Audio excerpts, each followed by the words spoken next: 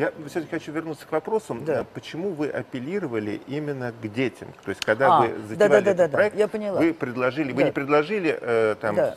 своим ровесникам Да. или, впрочем, написать эти Должна вам истории, сказать, а, что а да, просить- из этого как раз ничего не получилось на самом деле. Мгм. Потому что детских писем довольно мало.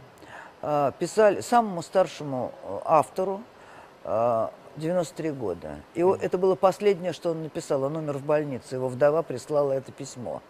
И самому молодому, 13 лет, он пересказывает рассказы своего дедушки.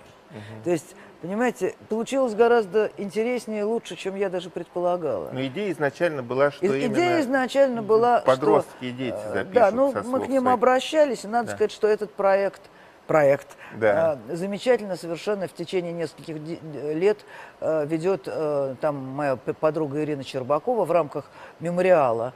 Э, В рамках истории, предмета история, э, где дети пишут именно об истории семьи, поселка, школы, то есть э, роддома, который рядом, э, того места, где они живут. Это потрясающие совершенно и, э, сочинения, замечательные. И это меня очень вдохновило. Я довольно давно уже знаю об этом проекте, даже э, немножко принимала там участие, в каком-то жюри од- однажды была. Понимаете, мы очень беспамятная страна. Мы, это чрезвычайно важно хотя бы на уровне семьи э, сохранять... Ну, э, вот насчет страны я не соглашусь. Может быть, это э, упирается в, допустим, в носитель языка, потому что говорят, что менталитет определяет язык. Я, кстати, в одном из интервью, опять же, с вами читал, вы приводили пример какого-то пожилого мусульманина, который упрекал вас, ну и в целом Да, носителей да, русского да. языка, что мы не Да. помним даже Да, своих он сказал э, замечательную прадедов. фразу. Да. Он сказал, «Э, у нас э, там в поселении, в селе, если человек не знает семи предков позади, то он просто бродяга. Мгм. И тут я задумалась. Ну, у меня, мне лично известно пять поколений назад. Пять поколений вы Пять знаете, поколений. да?